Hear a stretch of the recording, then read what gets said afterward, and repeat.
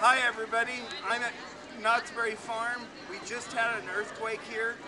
Um, it's about 3.46 in the afternoon and uh, I was, my uh, wheelchair was at this spot and uh, I felt the, the ground move and everything. It was kind of cool here at Knott's Berry Farm. Anyway, it's uh, 3.46 in the afternoon. Nice sunny day and having a great time here at Knott's Berry Farm. It's the first time that I've been to Knott's Berry Farm and I felt an earthquake. Anyway, have a good one everybody. Thanks for visiting my page.